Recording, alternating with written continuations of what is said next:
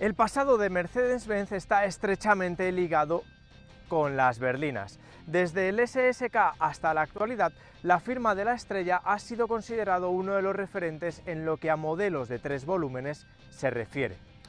Pues bien, ahora el futuro de la marca de Stuttgart está directamente ligado con la electrificación, la misma que se une a ese concepto primigenio de modelos de alta representación con el protagonista del vídeo de hoy, que no es otro que el EQE que tengo aquí a mi lado y que hoy en el periódico de la energía, canal al que como siempre espero que estés suscrito y con la campanita activa para recibir todas nuestras notificaciones, vamos a probar en su versión más racional, el 350. Un vehículo del que te vamos a descubrir todos sus detalles ya mismo. Siendo justos, el Mercedes-Benz EQE es la segunda berlina cero emisiones de la marca tras el EQS, modelo del que bebe en numerosos detalles, principalmente enfocados al diseño, pero en un formato, lógicamente, más compacto. Mide 4,94 metros de largo por 1,93 de ancho y 1,51 de alto, por lo que podría ser un rival directo de los Porsche Taycan o Audi e-tron GT, pero con un toque menos deportivo. Y es que estas cotas las presenta en un diseño elegante, con líneas muy fluidas que juegan un papel importantísimo en la aerodinámica. No en vano cifra un coeficiente CX de solo 0,22, de los más bajos del sector, que complementa con detalles como la parrilla carenada, los tiradores enrasados o estas llamativas llantas de estilo carenado también de 20 pulgadas que eso sí forman parte del paquete AMG opcional y cuestan además 1.235 euros. Por cierto, hay un detalle súper llamativo de este Mercedes-Benz EQE e, y está relacionado con esta zona. Os lo digo porque el capó está sellado y nos dice la marca que los únicos autorizados para abrirlo serían los propios mecánicos de Mercedes. Pero quizá, llegados a este punto, muchos penséis, de acuerdo, ¿y entonces por dónde lleno el líquido del limpia parabrisas? Pues veis esta abertura de aquí. No, no es la toma de carga, que esa se sitúa en el paso de rueda trasero derecho, sino que si hago así, se abre y podemos verter nuestro líquido limpia parabrisas para llenarlo. Una medida súper ingeniosa. Para finalizar con el tema de opciones, si quieres configurar un EQE al gusto, podrás hacerlo sin ningún tipo de problema, pues como buen modelo premium, te puedes perder en el mar de opciones que ofrece. Ya sea desde llantas de aleación hasta tapizados interiores, iluminación ambiente, asistentes a la conducción, todo para ofrecer una experiencia cliente única, incluyendo las pinturas para la carrocería, algunas de ellas firmadas por el departamento exclusivo Manufacture.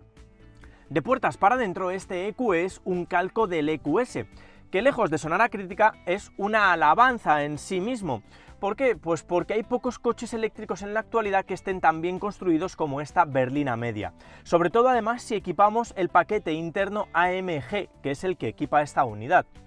Pero si hay un punto que destaca de esta berlina es la digitalización sobre todo porque además en las dos pantallas que tenemos utilizamos tecnología OLED, que tiene un contraste excepcional. Empezamos, detrás del volante tenemos un cuadro de instrumentos de 12,3 pulgadas con un sinfín de información, tenemos mm, muchísimas pantallas en que manejar mediante el comando táctil situado en el volante. Y a simple golpe de vista tenemos todo lo que nosotros requiramos pero el gran protagonista es el monitor central, dispuesto verticalmente con 12,8 pulgadas, con esa tecnología OLED y con un manejo excepcional. Eso sí, cuenta con muchísimos menús y dado que aglutina todas las funciones del vehículo, probablemente para algunos usuarios sea un poquito engorroso al principio adecuarse a él, pero cuando ya has pasado ese periodo de aprendizaje, la verdad es que es muy intuitivo.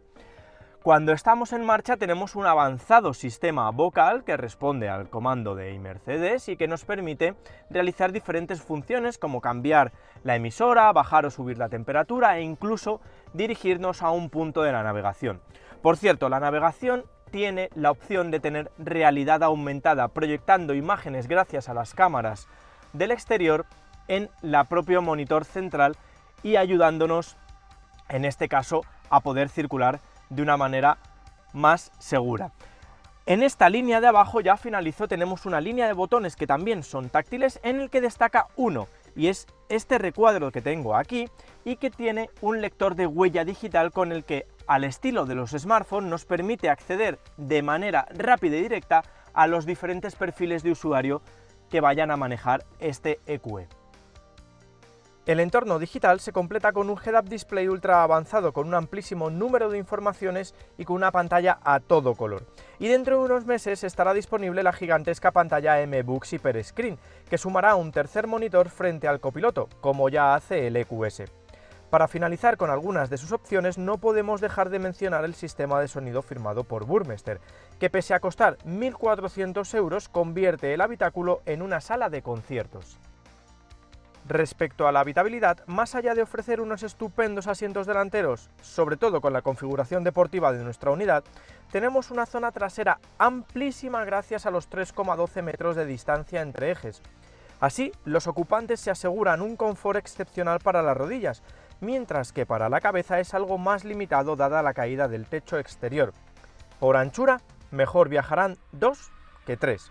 Como es lógico, tenemos elementos de confort de alta categoría, como es en este caso el climatizador individual de cuatro zonas, para que los ocupantes tengan el mayor confort climático.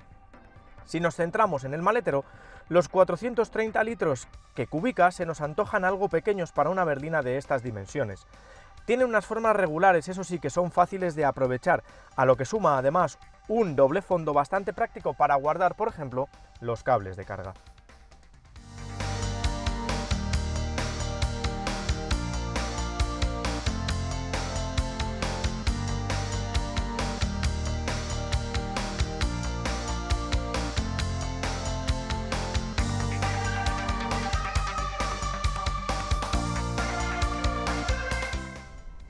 En marcha es donde notamos el savoir-faire de Mercedes en lo que a calidad de rodadura se refiere.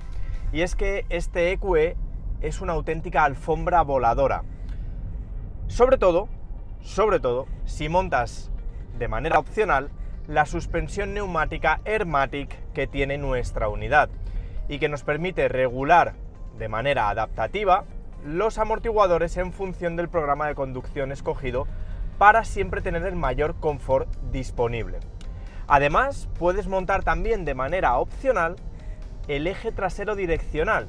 Ambas cosas cuestan conjuntamente unos 3.000 euros aproximadamente, pero si quieres un coche perfecto para rodar, son indispensables. Además, el eje trasero direccional tiene un ángulo de giro de hasta 10 grados, es uno de los mayores del segmento. Es una auténtica barbaridad cómo se acaba convirtiendo en un pequeño coche pese a sus 5 metros de longitud, sobre todo cuando circulamos por ciudad, porque el radio de giro de esos 10 grados es en sentido contrario, lo cual nos permite aumentar la maniobrabilidad.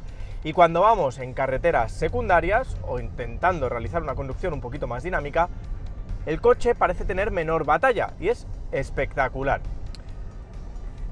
Como os digo, el hábitat natural de este EQE es sin duda la autopista, porque ahí es donde va a mostrar todo su confort, aunque es un vehículo que no le hace demasiados ascos a las carreteras reviradas, porque se muestra bastante ágil.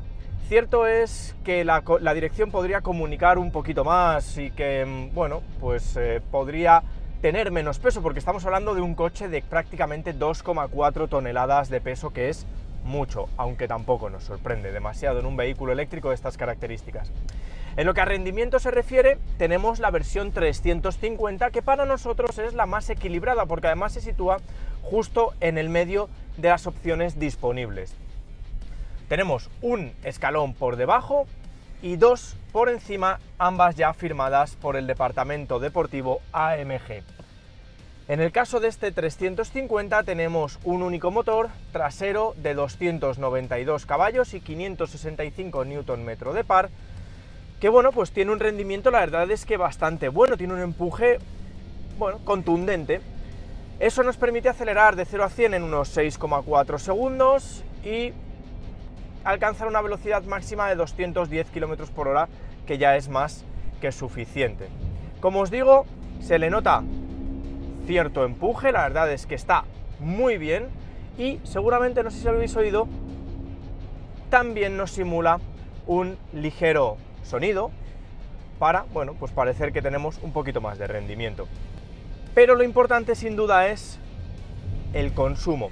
¿Por qué? Pues porque está en línea con esa gran eficiencia, con esa gran eficiencia aerodinámica que Mercedes ha intentado implantar en este EQE. Y eso se nota sobre todo cuando podemos realizar un largo viaje. ¿Por qué? Pues porque de normal te vas a encontrar este EQE 350 homologa un consumo medio de 16,1 kilovatios hora a los 100, que es una cifra ligeramente complicada de conseguir. Normalmente te vas a estar moviendo en el entorno de los 20 kilovatios, pero si eres muy eficiente, vas seguramente a poder conseguir un consumo también de unos 17, 17 medio, 17 alto. Lo normal es que te estés moviendo en el entorno de los 20 kilovatios. Y eso, con una batería de 90,4 kilovatios hora de capacidad, pues te va a permitir rodar más de 450 kilómetros, lo cual está muy, pero que muy bien. De hecho, nosotros ahora mismo estamos moviéndonos en casi los 200 kilómetros que hemos realizado con el vehículo en los 19 kilovatios y estamos haciendo una proyección exactamente de 500 kilómetros. Está lejos de los 633 kilómetros que homologa Mercedes con esos 16,1 kilovatios. Pero la verdad es que ya te va a permitir tener una mayor holgura sobre todo para viajar y una mayor tranquilidad. Cuando realices un largo viaje y tengas que parar, otra de las ventajas es que este EQE lo vas a poder conectar en tomas de corriente continua de 170 kilovatios, lo cual te va a permitir llenar el 80% en poquito más de 30 minutos, 32, vamos. En media horita vas a tener el coche completamente, bueno, al 80% cargado. En corriente alterna vas a tener dos opciones. La que viene de serie monta un cargador embarcado de 11 kilovatios, pero por unos 1.400 euros vas a poder montar el cargador embarcado de 22 kilovatios y eso te va a venir muy bien cuando tengas eh, puntos de carga con esa potencia. En marcha también vas a poder cargarlo, lógicamente como otros Mercedes, como ya lo probamos con el EQB o con el EQA, de los que os dejamos las pruebas por aquí arriba, tenemos diferentes niveles de retención de la energía en las fases de frenado, que se manejan con las levas situadas tras el volante. Tenemos cuatro.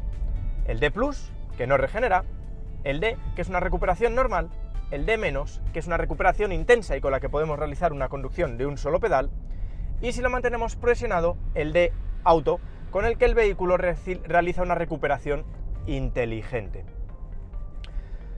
está bastante bien logrado y además el tacto del freno no llega a ser tan tan tan esponjoso como en muchos otros eléctricos y eso nos gusta bastante.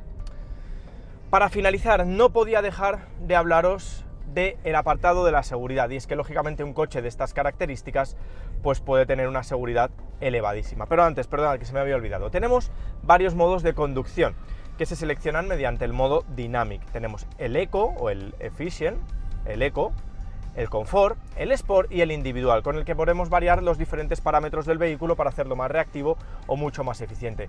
Con el eco es con el que vamos a lograr reducir el consumo al máximo y conseguir incluso rondar esos 17 kilovatios hora a los 100 que os comentaba.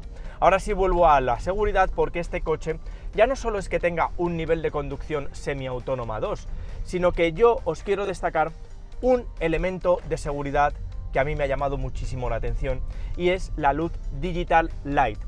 Sí, sabemos ya que la tecnología LED ha pasado a la tecnología digital, pero es que es el primer coche en el que he podido comprobar que esa iluminación frontal me permite tener mensajes proyectados en la carretera. De momento es un apartado completamente alegal en nuestro mercado porque no está regulado si es posible o no, pero Mercedes ya lo tiene. Y de hecho, por ejemplo, hay en algunas Situaciones como cuando te estás acercando demasiado al vehículo que te precede, aparece proyectado delante la imagen del vehículo o de la, del asistente. Pero es que también tenemos, en conjunción con el control de crucero adaptativo y con el sistema de guiado activo de carril, un cambio de carril, de carril automatizado. Simplemente tenemos que darle al intermitente izquierdo o derecho mientras tenemos todo el compendio de asistentes a nuestra disposición y ver cómo el coche cambia de manera automática de carril y nos asiste. La verdad es que es una auténtica maravilla lo que puede realizar este EQE en marcha.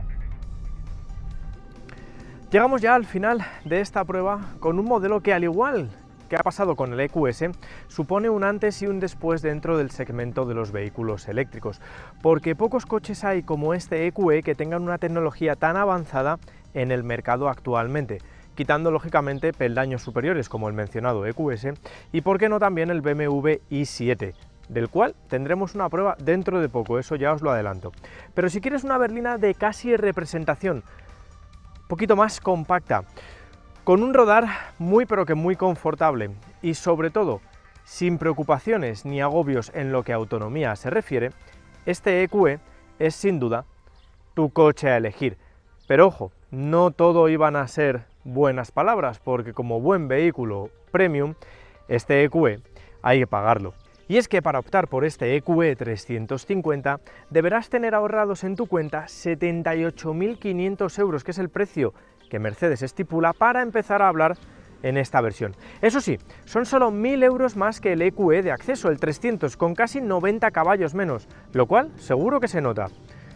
Si lo comparas con las versiones AMG, el ahorro ya es de 30.000 euros en favor de este 350.